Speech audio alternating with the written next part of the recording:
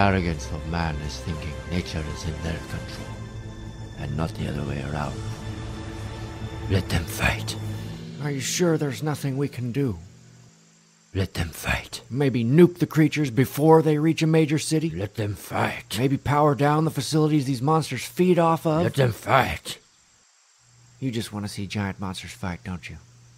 Let them fight.